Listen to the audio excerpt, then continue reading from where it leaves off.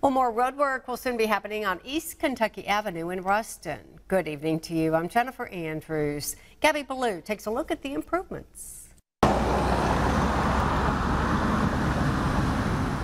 East Kentucky Avenue in Ruston may soon have a new look. That's because Mayor Ronny Walker says phase three of the project, which has been widely talked about among the public, will soon take place. Well, we heard from those issues from years ago when we really looked at the roads and asked the, the public, you know, what roads need to be done and all that. So um, that was all part of our decision-making process. Phase three of the project is on East Kentucky Avenue from Goodwin Road to Highway 33. The improvements will include adding a center turning lane, installing curb and gutter drainage to manage stormwater, adding a sidewalk and a bike trail, and resurfacing and repaving the roads. Mayor Walker says this project has been a long time coming. That, that street has really become um, heavily traveled with all the, the, the construction we've had and um, the new apartments, the new homes, the new businesses.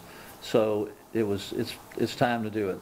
The project is expected to cost about 10 to 15 million dollars to complete. Federal, state, and city money have been secured to make this project happen. Representatives Chris Turner and Jay Morris, along with Julia Letlow, have all helped secure funding. Plus, some of the city funding will come from the Moving Ruston Forward initiative. We really appreciate all of our congressional delegation, but also our state delegation, because they're always helping us to fund these much needed projects within our city. Mayor Walker says these improvements will better the community overall. Well, anytime you have a, a street that's been, that's probably 30 years, 40 years old, um, that has been patched and it's not as wide as other streets are, we needed from a safety standpoint. The bidding process will take place within the next one to two months. Then the construction may start by the first of the year and is expected to take 10 to 12 months to complete, weather permitting. In Ruston, I'm Gabby Ballou with KNOE 8 News.